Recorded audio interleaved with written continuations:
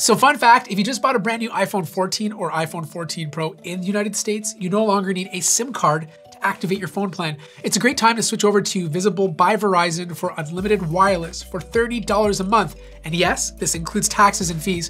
With Visible's eSIM, all you have to do is download the Visible phone app to activate your phone. No more SIM card pins and no more accidentally poking the microphone hole instead of the one that pops out the SIM card tray. Your speakers will thank you later.